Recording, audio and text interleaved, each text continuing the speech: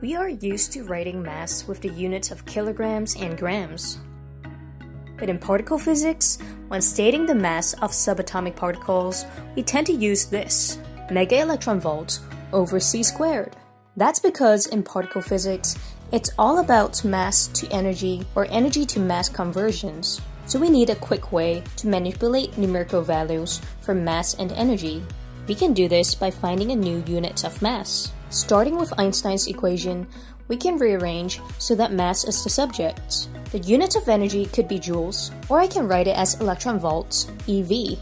In particle physics, we tend to work with a 10 to the 6 order of magnitude for energy in electron volts. So why don't we take that into account by saying that this is mega electron volts? This now shows that energy in mega electron volts divided by the constant speed of light in a vacuum squared is our new unit of mass.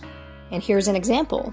If I have 5 mega electron volts of energy, I can create a particle with a mass of 5 MeV over c squared. So it's really convenient because we can put down the same numerical value for mass and energy just by changing the units.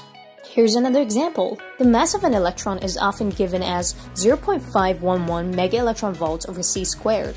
We can convert this back into SI units to see if this is correct.